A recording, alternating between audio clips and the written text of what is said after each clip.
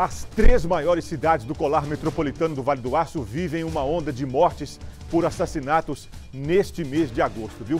É o que afirma o comando da Polícia Militar. Grande parte dos crimes está relacionada a brigas ou ao tráfico de drogas. Vamos ver. Com 10 homicídios registrados somente no mês de agosto, a região do Vale do Aço interrompeu uma sequência de sete anos de queda e viu o índice de assassinatos voltar a subir em 2023. Os dados são da 12ª Região da Polícia Militar. Conforme as estatísticas, entre janeiro a agosto do ano passado foram registrados 33 homicídios, enquanto que no mesmo período deste ano já somam 45 assassinatos. O aumento foi de 36%.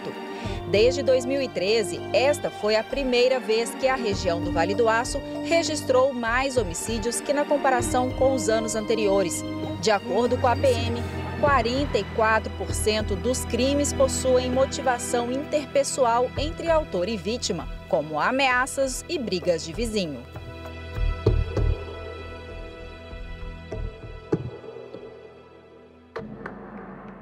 A maioria dos crimes é, que acontece aqui no Vale do Aço tem de origem, motivação, os conflitos interpessoais, né? Sejam a briga de bar, sejam a briga de vizinhos, é, em segundo momento, a gente tem o crime de tráfico de drogas, que corresponde a 25% dos crimes de homicídio. E o conflito interpessoal, 44%. Né? Essas são as maiores motivações que a gente tem aqui no Vale do Aço. Diferentemente dos anos anteriores, quando os crimes tinham relação direta com o tráfico de drogas, em 2023, esta motivação aparece em segundo lugar. A disputa territorial entre gangues e acerto de contas são as principais causas para as mortes. A Polícia Militar também aumentou é, as operações de combate ao tráfico de drogas, né, sendo que a gente não pode também é, traçar como um dos, um, um das motivações de acordo com a Polícia Militar, em 60% dos homicídios registrados este ano, houve a identificação e a prisão de suspeitos.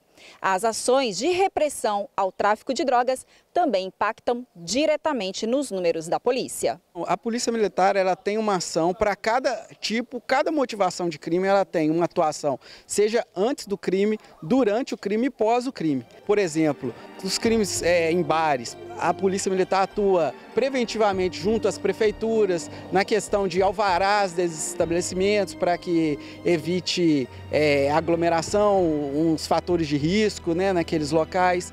É, durante o crime, a polícia, na busca da, desses autores, identificação é, e prisão.